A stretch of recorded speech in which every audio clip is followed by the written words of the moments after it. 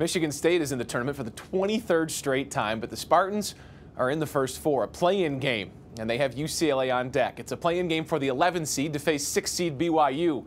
MSU now has the second longest tournament streak, but the road to get in this year wasn't easy. It took a really impressive stretch to close the regular season. Three wins over top five teams to secure that spot. Those wins leaving a lot of us wondering how MSU got stuck playing in a play-in game we came back and played those three games. As I look back, would I have been better off not playing them? Did I hurt my team some? Maybe. But uh, you know what? We did what we were supposed to do. I look around the country, I see some teams that played a lot less games and I think got some benefit.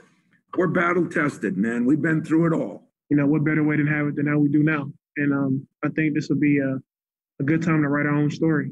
And I'm, I'm really excited about it. I'm really excited for the challenge that we have ahead of us and it's it's not the road's not easy that we have, and, that, and that's what makes it the best.